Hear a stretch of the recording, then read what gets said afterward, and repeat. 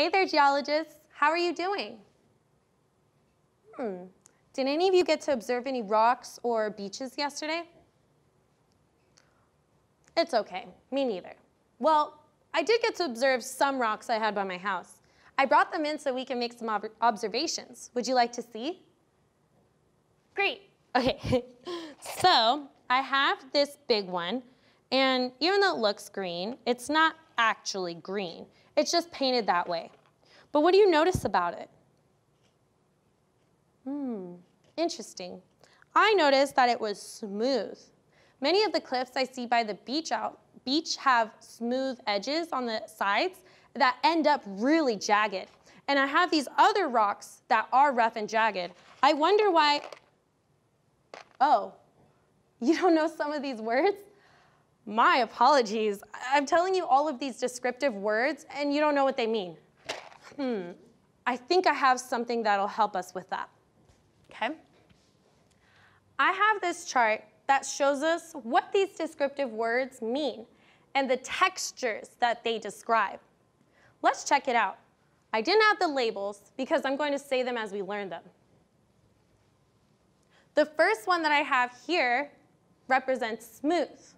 The first rock that I showed you is smooth. Can you think of other things that are smooth?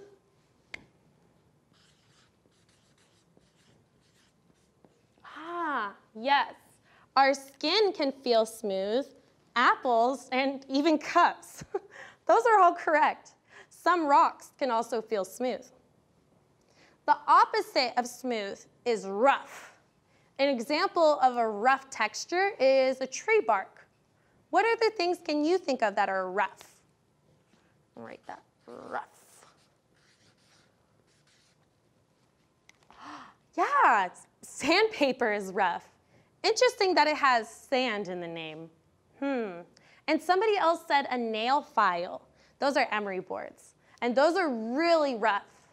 We have a few more textures to learn, so let's keep going. The next two are also opposites that we should know by now. Hard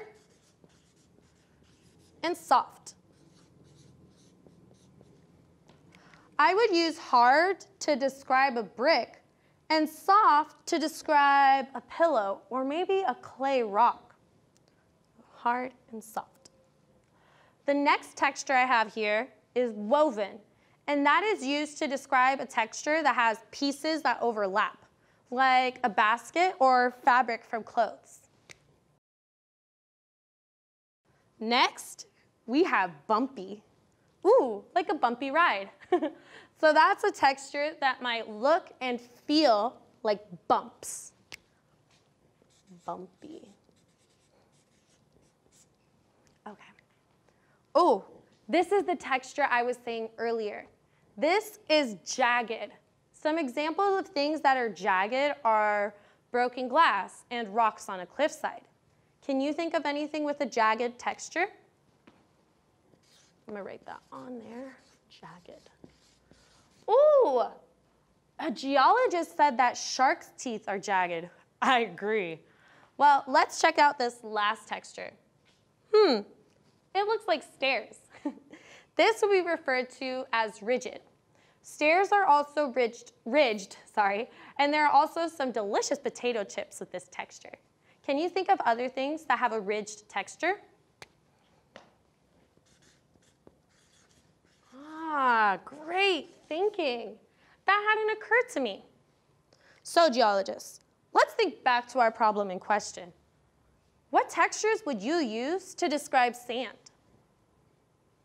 Mmm, yes, rough and maybe a little soft too. I actually have a picture of some sand really zoomed in. Let's check it out. Doesn't it look a bit smooth? Each grain doesn't look so rough. Interesting. What textures would you use to describe rocks that we see by the beach?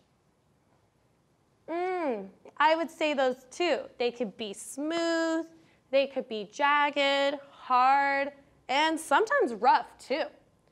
This makes me think. For our model, we should be sure to observe different textures. That might help us see things a bit better. But we'll have to stop here, ge geologists, and let's reread the textures that we have on this chart.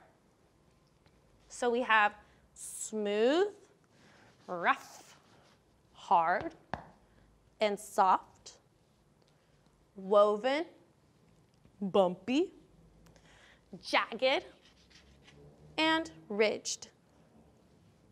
Great job. This is going to help us understand our problem a little bit more.